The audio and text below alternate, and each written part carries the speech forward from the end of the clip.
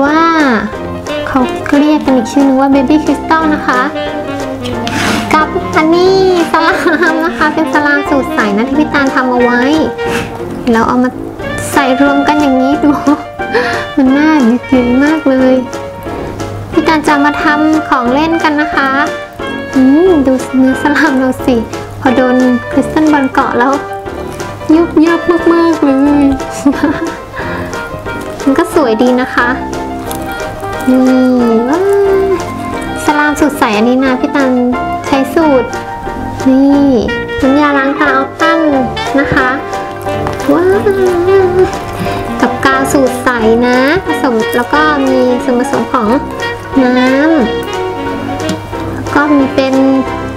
เจลอาบน้ำนะคะเพิ่มความนุ่มให้แต่มันก็จะเกิดฟองเนาะต้องทิ้งเอาไว้อะสักคืนนึงนะ ถึงจะใสขึ้น นี่มันเริ่มเกาะขึ้นเยอะแล้ว เดี๋ยววันนี้เราจะเอาสลามใสกับคริสตัลบอลอันนี้นะ มาเล่นอะไรดีนะ นี่เลยพี่ตันมีลูกบอลเดี๋ยวเราจะเอามาทำเป็นลูกบอลสลามนะ ลูกบอลสลามแล้วก็ใส่คริสตัลบอลอันนี้ลงไปด้วยนี่สวยๆนะ เดี๋ยวเรามาทำกันเลยก่อนอื่นนะ เอาขวดน้ำมาตัดให้เหลือสั้นๆแค่นี้นะ แล้วก็เอาตัวลูกโป่งใสของเรานี่ใส่ลงไปตรงปากนี้เลยนะ แต่ว่าเราต้องดึงให้มันแบบเยอะๆ เพราะว่าสลามมันจะไหลเข้าไปยากนะพี่ตันทำให้ดูไป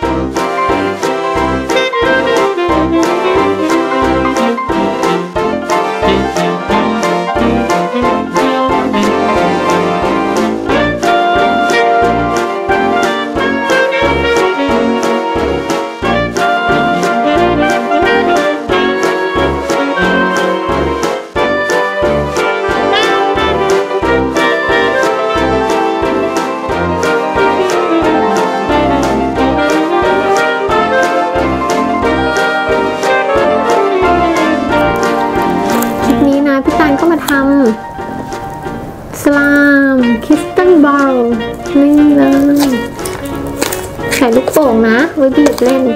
สนุกสนุก ถ้าอาสลามมาใส่ไว้นี้น่าจะปลอดภัยนะดูเวลาเราบีบเล่นนี่ก็ไม่ต้องล้างมือก็ได้นะแบบเพราะว่ามันไม่ได้โดนมือเรา มันโดนลูกโป่งนะ แต่มันก็มีโอกาสที่จะแตกได้นะ อย่าลืมว่ามันคือลูกโป่งธรรมดา แตกแน่นอนถ้าพี่เฟี้ยงตามพื้นนี่มันต้องระเบิดต้มนะนี่นะคะ ลูกโป่งของพี่ตาลนี่จะพี่ตาลซื้อลูกโป่งที่มันจะหนาหน่อยอะมานี่เดี๋ยวรอดูตอนมันใสเนาะ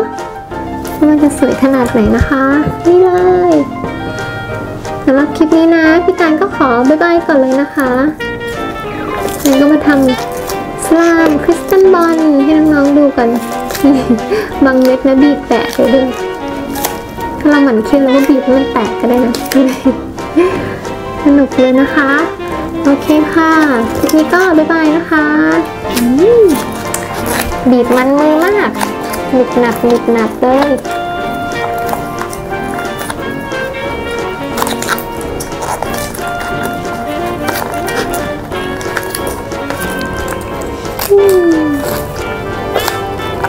เดี๋ยวรอดูตอนมันใส่นะ มันจะสวยกว่านี้แน่ ค่ะ บ๊ายบายค่ะ